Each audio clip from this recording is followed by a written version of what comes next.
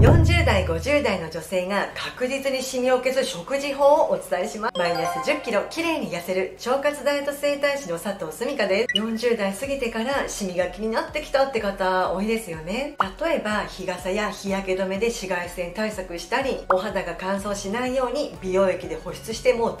全然効果が感じられない。むしろシミが濃くなってきた。なんてことないですか？そこで今回の動画ではシミを体内から消す3つの食事法を解説していきます。私自身もこの食事法を取り入れることでシミどころか肌が水泡だらけで目も口も開かないくらいの肌トラブルとその後残ったシミを改善して今ではこうして YouTube など SNS で顔出しができたり実際に私の生徒さんもこの食事法でお肌の調子が良くなることに驚かれていてクレンジングでメイクを落とした後あれ？まだメイク残ってる？と思うくらい肌のトーンが明るく綺麗になってびっくりしていますとかお母さん肌が綺麗になったねと言われましたとか肌分析をした時にお肌の水分量が上がっていましたなどこんなご報告が届くたびにもう私も嬉しくなっちゃうんですけどなぜこのようなすっごい結果が出るのかその一番大事な対策をあなたにお話しますね。この動画を最後までご覧いただくことで根本的なシミ対策の食事法を実践できて美容効果やダイエット効果を実感できるようになりますのでぜひ最後までご覧ください。今後もこののような情報を見逃さないためにチャンネル登録をよろしくお願いします。本題に入る前にあなたはなぜシミができると思いますか？ほとんどの方が紫外線と思ったと思います。でもこれ本当の原因ではないんです。紫外線がシミの原因じゃないのって思いませんでしたか？後ほど具体的なシミ対策をお伝えする上でもうどうしても必要なお話なので少しだけついてきてくださいね。確かに紫外線は大敵です。紫外線が肌のメラニンを過剰に生成させシミを作るからです。そしてここ。が大事なんですが実は本当のシミの原因はあなたの体の中の活性酸素です。例えば鉄が雨などに当たると酸化します。すると錆びてボロッボロになってきますよね。同じようにこの活性酸素で体が錆びてしまうんです。これがシミの大きな原因なんですね。実は紫外線がこの活性酸素を増やします。この活性酸素がメラノサイトを刺激してメラニンを過剰生成してシミができるんです。つまり紫外線はきっかけに過ぎず本当の原因は活性酸素なんですね。ではシミの本当の原因が活性酸素だとしたら対策は日焼け止めだけで十分でしょうか？実はシミの原因である活性酸素のなんと90%は腸内の悪玉菌が作っています。なので紫外線対策をしても腸内環境が悪ければシミは防げません。だからこそ食事で腸内環境を整えて悪玉菌を減らせば結果活性酸素を大量に減らすことができるのでシミの改善につながるんです。これが食べる美肌の鍵です。実際に私のクライアントの方も嫁ぎ先が農家でね一日中外で紫外線を浴びて農作業されているのにシミがないんですよ。なぜだと思いますか？実はこの方私と一緒で活性酸素を抑える食事をしてるんです。それではここから活性酸素を大量に発生させる腸内の悪玉菌を抑えてシミを体内から消す食事法を3つ解説していきます。シミを体内から消す食事法1つ目は避けるべき食材5選ということでまずは悪玉菌を減らして活性酸素を発生させないように私がやめた食べ物を5つそれぞれ解説していきますね。まず1つ目はフライドポテトです、ま、フライドポテト美味しいですよね。でも実はこれがシミの原因になるんです。なぜかというと高温で揚げたポテトのような揚げ物には酸化した脂質がたくさん含まれていてこれが悪玉菌の大好物そして体内で炎症を引き起こすので活性酸素が発生してシミの原因になるんです。例えば最近顔色が悪い気がするって思ったことありませんか？フライドポテトって一度食べたら止まらないんですよね。私もそうだったんですけどフライドポテトを食べ過ぎるとますますシミができて肌もくすんでしまいます。なので私はフライドポテトの代わりにオリーブオイルで焼いたポテトを食べています。では次に2つ目はベーコンです。ベベーコンってね便利な加工肉ですよね。私も昔は朝食にベーコンエッグとかねよく作ってましたがこのベーコンもシミを悪化させる食べ物なんですね。ベーコンやソーセージなどの加工肉にはたくさんさんの添加物が含まれていてこれが腸内で炎症を起こして酸化ストレスを引き起こし活性酸素が発生してシミの原因になるんです。例えばベーコンなどの加工肉をね食べる習慣があるとますますシミが増えたり肌が乾燥しやすくなります。最近シミも増えて口の周りに粉吹いて肌が乾燥してきた気がするなんてことありませんか？それは体の中からも SOS のサインが出ている証拠です。ただ、まあ、メニューによってはねもうどうしてもベーコン使いたいなっていう時もありますよね。そんな時私は、まあ、少しお値段はしますけど無添加良品のベーコンを購入しています。では次に3つ目は白砂糖です。まあ甘いものがね大好きな方にとっては耳が痛いかもしれませんが白砂糖は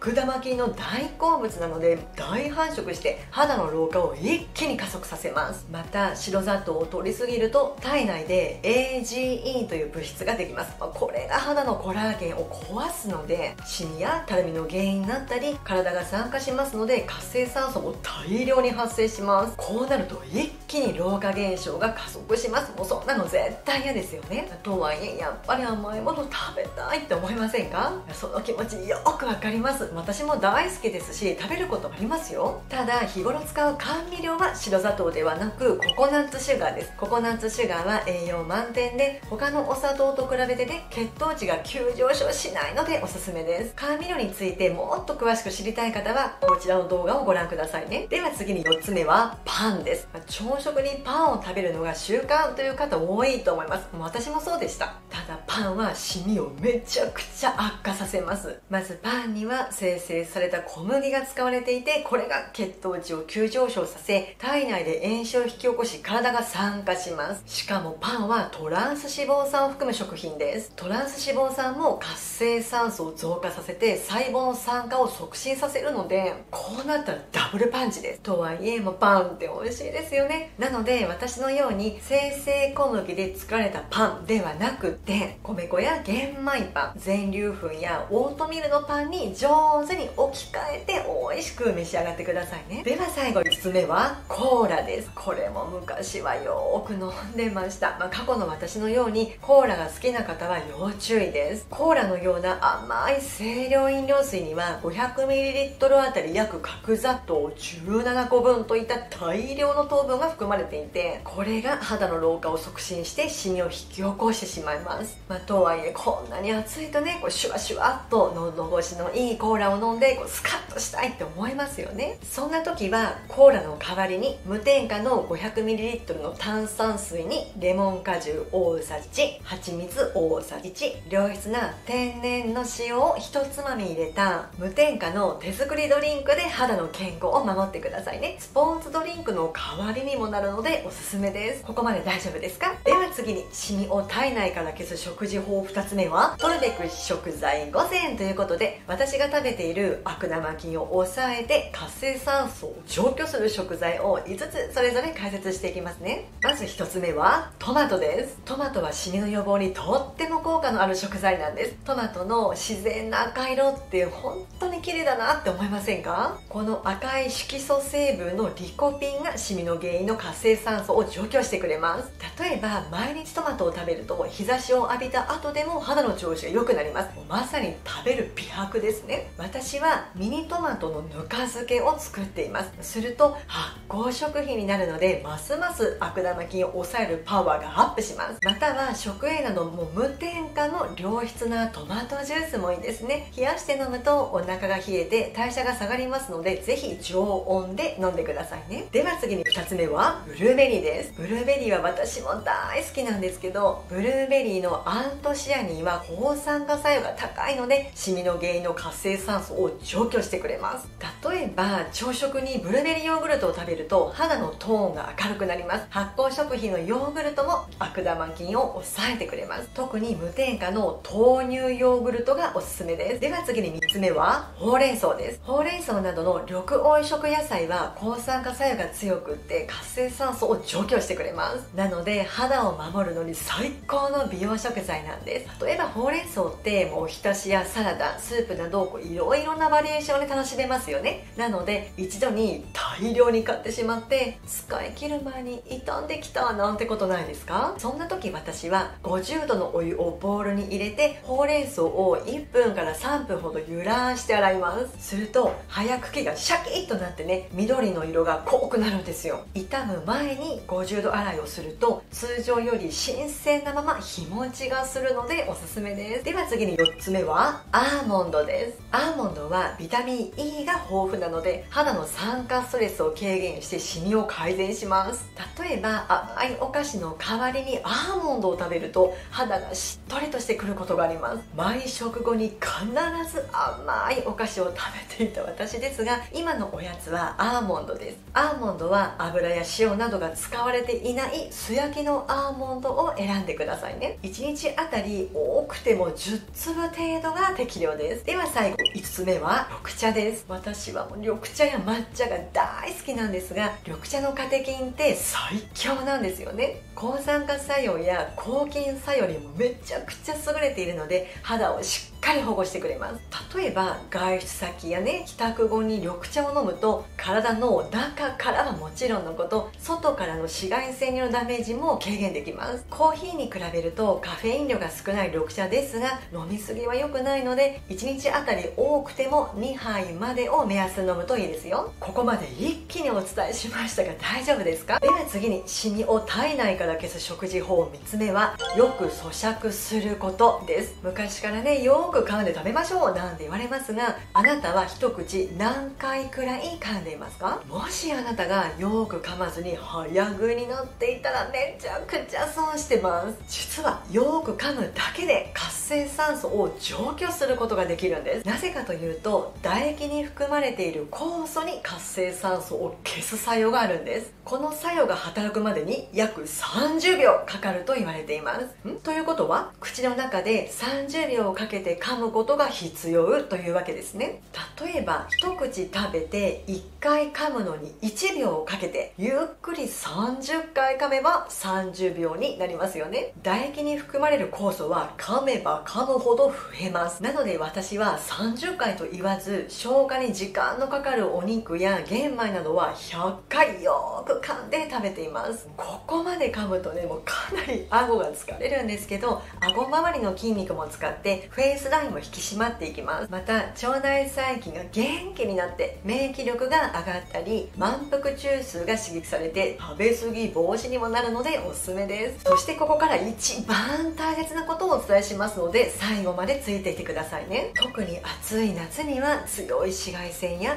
エアコンによる肌の乾燥汗による毛穴の詰まりなど外からの原因に対処するだけのスキンケアでは不十分です。本当は体の中からの対策が必要で肌の健康って実は内側から支えられているんだってことをあなたに知ってもらいたくてお伝えしました。私はもうすぐ50歳ですが心も体もボロッボロのどん底だった30代の頃よりも今の方が何倍も元気ですし今の自分が大好きです。あなたはいかがですか？今の自分に満足していますか？何をやっても続かない。意志が弱いからダメなんだとかもし見た目や体調に悩んでるとしたらそれはあなたのせいではなく過去の私と同じように腸内環境が原因かもしれません。正しく取り組めば結果は出ます。今回の動画を参考にぜひ取り組んでみてくださいね。そして今後リバウンドなしで人生最後のダイエットにしたいという方は私の公式 LINE がおすすめです今回の動画でご紹介しきれなかった美味しく食べて綺麗に痩せる1ヶ月分の食事メニュー90食分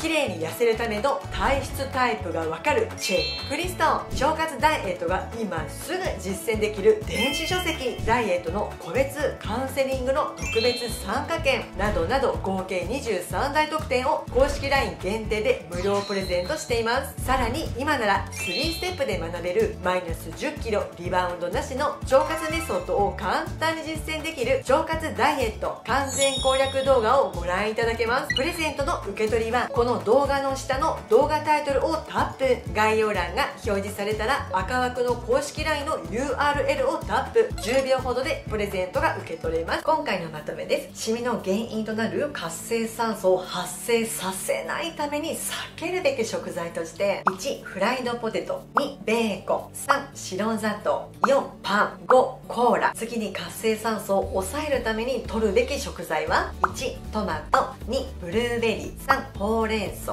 4アーモンド5じゃ以上の食材をよーく咀嚼して食べることでした。次回も腸内環境を整え根本的な痩せ体質へと生まれ変わるための情報をお届けしますのでチャンネル登録とベルマークのクリックをお願いします。もしこの動画が役に立ったなと思っていただけたらいいねやコメントお願いします。質問には私がお返事しますのでぜひ繰り返しご覧ください。それでは最後までご覧いただきありがとうございました。